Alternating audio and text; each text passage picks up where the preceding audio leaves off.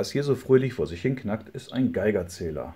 Oder besser ausgedrückt ein Geiger-Müller-C-Rohr, das so ziemlich wichtigste Messinstrument für ionisierende Strahlung, wie sie zum Beispiel von radioaktiven Stoffen ausgesendet wird. Ich kann das auch mal kurz zeigen. Ich habe hier eine Fliese, die eigentlich unscheinbar aussieht, aber wenn ich sie vor das C-Rohr halte, passiert hier auch noch nicht viel. Allerdings die rote Farbe, die scheint tatsächlich irgendwas auszusenden, was das C-Rohr erfassen kann. In diesem Erklärvideo möchte ich euch zeigen, wie dieses Messgerät funktioniert und damit begrüße ich euch ganz herzlich auf meinem YouTube-Kanal. Entwickelt wurde es zwischen 1913 und 1928 von Hans Geiger und Walter Müller und soll eigentlich nur messen, wie stark die Strahlung ist, die gerade eindringt. Also nicht wie viel Energie sie hat, sondern wie viele Teilchen pro Sekunde in dieses Gerät eindringen. Schauen wir uns uns mal genauer an. Ich nehme mal den Digitalzähler ab und zeige es in die Kamera. Von außen gesehen ist das Gerät erstmal ziemlich unspektakulär. Ein kleiner Metallzylinder, vorne eine Folie, hinten der BNC-Anschluss und das war es eigentlich auch schon. Was wir nicht sehen können, ist, wie das Gerät im Innern aufgebaut ist. Es ist hohl und da drin ist ein Draht gespannt. Ich zeichne das mal. So, der Stab ist parallel zu den Zylinderwänden. In dem Rohr ist keine Luft, sondern ein Edelgas, wie zum Beispiel Argon. Deswegen auch die Folie vorne drauf. Das Gas soll ja nicht entweichen. Zwischen Wand und Stab wird eine Spannung um Null angelegt, die im üblichen Betriebsmodus des einfachen Zählens bei etwa so 400 Volt liegt. Damit kein Kurzschluss entsteht, das wäre bei 400 Volt nur wirklich nicht schön, ist zwischen dem Draht und der Wand ein isolierender Ring. In der Realität sieht man hier den Plastikring, der bei dem Standard-BNC-Anschluss auch üblich ist. Wenn ich möchte, kann ich die Spannung auch direkt messen. dazu zeichne ich mal hier noch ein Spannungsmessgerät ein. So. Außerdem ist die Außenseite geerdet. Das ist wichtig, damit ich das C-Rohr in der Hand halten kann, ohne dass ich gleich eine geflammt bekomme. Oder, äh, physikalischer gesagt, keinen Kontakt zu einem Erdschlussstrom herstelle. Das eigentliche Mess-C-Gerät misst die Spannung, die zwischen dem Draht im Innern und der Erde anliegt. Da die Außenseite geerdet ist, entspricht das dann auch der Spannung zwischen dem Draht und der C-Rohrwand. Haben wir mit der Spannung eigentlich auch Stromfluss? Nee, der Stromkreis ist nämlich unterbrochen. Und zwar durch den Plastikring einerseits, aber eben auch durch das Edelgas. Edelgase sind naturgemäß nicht leitend. Die Schaltung muss übrigens gleich noch ein bisschen verbessert werden. Aber fangen wir erst einfach mal mit der Funktionsweise an. Gemessen werden soll ja das Eindringen eines Teilchens, das genügend Energie besitzt, um ionisieren zu können. Lassen wir also ein solches Teilchen mal eindringen. Dazu muss es durch das Glimmerfenster. Und deswegen ist diese Folie auch so dünn, trotz der Reißgefahr. Sie soll zwar das Edelgas drin halten, aber die Strahlung muss sie ja durchdringen können. So, jetzt ist das eine Teilchen eingedrungen. Und was kann es machen? Oh, eigentlich nur eine Sache, nämlich ionisieren. Und genau das macht es auch. Es ionisiert ein Argon-Gasatom. Als Folge entsteht ein freies Elektron und ein positiv geladenes Restion.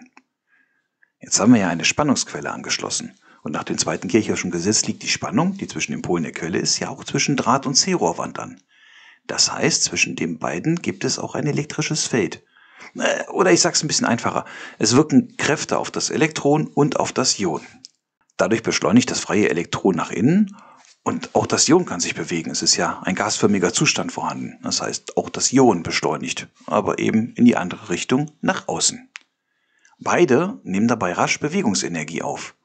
Und wenn sie genug Energie haben, was sehr schnell passiert, dann können sie ihrerseits ein weiteres Argonatom ionisieren. Auch dieses Ion und das freie Elektron beschleunigen wieder, wieder freie Ladung und der Vorgang wiederholt sich ganz oft immer wieder und wieder, sodass lawinenartig ganz viele freie Elektronen und Argon-Ionen entstehen.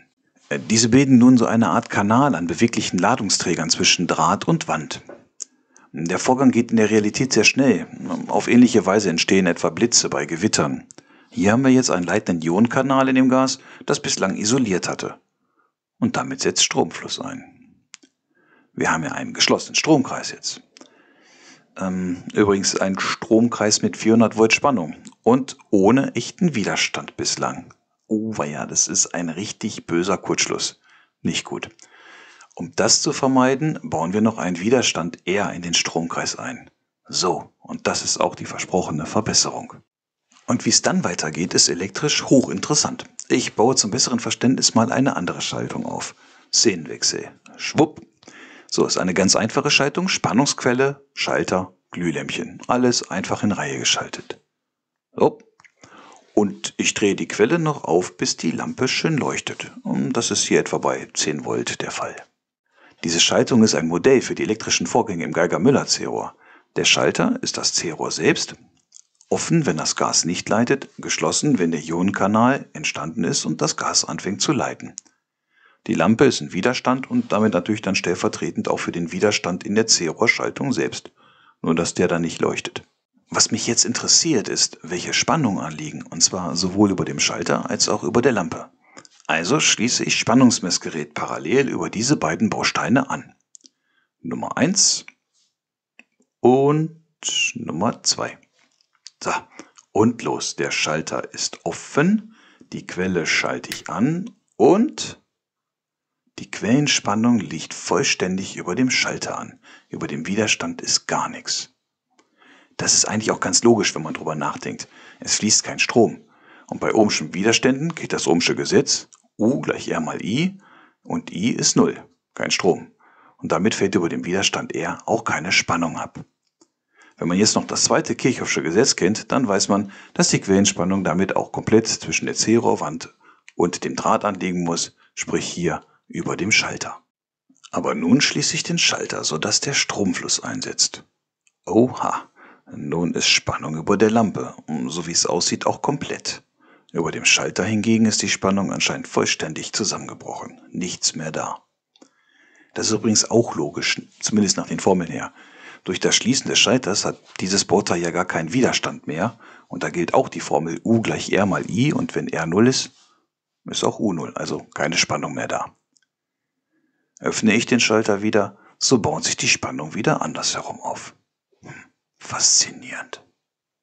Ich will die Vorgänge aber nicht nur mit Formeln, sondern mit einem Modell noch ein bisschen besser verständlich machen. Ein Modell zu Modell sozusagen. Ich stelle mir dazu die elektrische Strömung als Gasströmung vor. Das heißt, statt eines Kabels haben wir ein Gasrohr. Mit einer Quelle erzeuge ich den Strom, also Gasstrom dann, und so stelle ich mir die Quelle als Pumpe vor hier mit diesem einfachen Symbol dargestellt. Dann kommen die Rohre statt der Kabel. Mit dem Schalter kann ich den Strom unterbrechen. Im Gasmodell wäre das dann ein Ventil, das ich öffnen und schließen kann. Und der elektrische Widerstand behindert den Strom, elektrisch oder Gas. Deswegen stelle ich ihn mir als Engstelle vor. Soweit so einfach. Aber was ist denn jetzt Spannung? Antwort ich kann sie mir in diesem Modell als Druckunterschied vorstellen. dazu brauche ich mal ein paar Druckmessgeräte und zeichne einfach mal zwei ein, links und rechts von der Pumpe. So. Die Quelle pumpt nun das Gas auf die linke Seite. Das heißt, im linken Rohr ist ein hoher Druck und im rechten Rohr ist ein niedriger Druck. Der Druckunterschied zwischen diesen beiden Rohren, das entspricht ziemlich gut dem, was die Spannung U für ein elektrisches System ist. Und die Pumpe ist damit eine Spannungsquelle. Sie erzeugt die Spannung.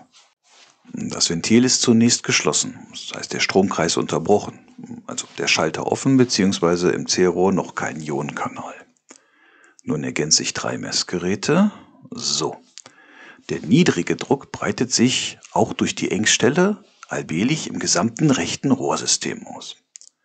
Deswegen habe ich auf der linken Seite des Ventils hohen und auf der rechten Seite des Ventils niedrigen Druck, sprich ein Druckunterschied.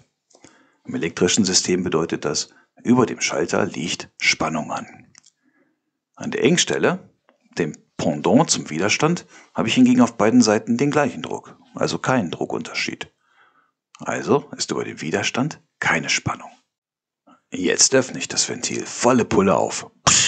Das ganze Gras zischt drüber.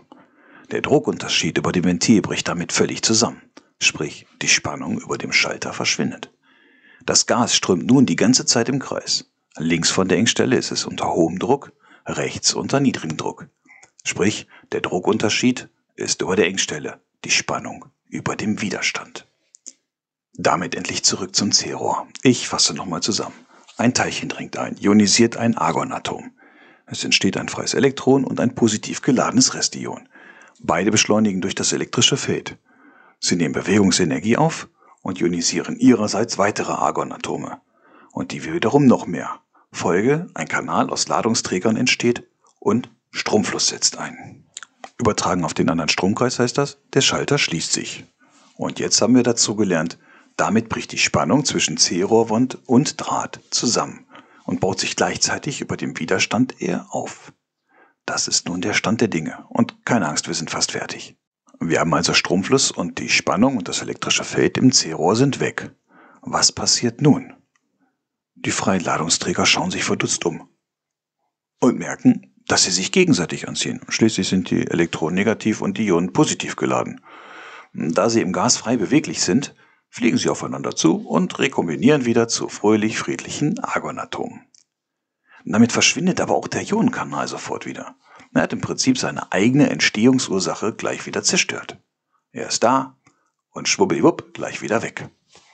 Desgleichen der Stromfluss. Und die Spannung? Die ist nun wieder zwischen Draht und Wand. Der Ausgangszustand ist damit wiederhergestellt. Also Zusammenfassung der Zusammenfassung. Dringt ein ionisierendes Teilchen ein, wird der Stromkreis im C-Rohr geschlossen und gleich danach wieder geöffnet. Ich habe also im Endeffekt einen ganz kurzen Stromstoß. Entsprechend habe ich nach U gleich R mal I über dem Widerstand R eine ganz kurze Spannungsspitze. Ich schaue mir das mal in Spannungszeitdiagramm genauer an. So, Koordinatensystem, die Quellenspannung U0 ist die ganze Zeit da. Ich setze sie jetzt einfach mal als negativ an. Äh, wer die Kirchhoffschen Gesetze kennt, weiß, dass ich dann die anderen Spannungen schön als positive Werte betrachten kann. Wer sie nicht kennt, das sage ich auch egal. Jedenfalls ist die Spannung im C-Rohr betraglich gleich groß wie die Quellenspannung U0, nur eben mit dem anderen Vorzeichen. Über dem Widerstand ist nix. So, nun dringt das Teilchen ein, der ganze gerade erläuterte Zirkus passiert und damit setzt Stromfluss ein. Nach U gleich R mal I habe ich nur noch Spannung über dem Widerstand R, wenn gleichzeitig die Spannung im C-Rohr selbst zusammenbricht. Der Kanal fällt auch sofort wieder in sich zusammen, Stromfluss und Spannung über R verschwinden auch sofort wieder und dafür baut sich die Spannung dann erneut im C-Rohr auf. Das System geht zurück in den Ausgangszustand. Am Ende habe ich beim ionisierenden Eindringling also einen Spannungspeak und den kann ich messen. Schließe ich etwa einen Lautsprecher an die Kabel an, macht es darin Knack, wenn es einen solchen Impuls gibt. Ja, und genau das soll das Gerät ja auch machen. Ein Teilchen dringt ein, knack. Mit einer elektronischen Schaltung kann ich die Knacks dann zählen und fertig ist mein wunderbares Messgerät. So, fertig bin auch ich. Ich hoffe, ich konnte alles verständlich machen und verabschiede mich damit. Bis zum nächsten Mal. Ciao.